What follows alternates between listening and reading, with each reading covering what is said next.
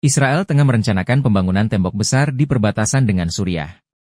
Hal itu sebagai bagian dari strategi keamanan untuk mencegah potensi ancaman dari milisi-milisi yang mungkin mencoba memasuki wilayah mereka.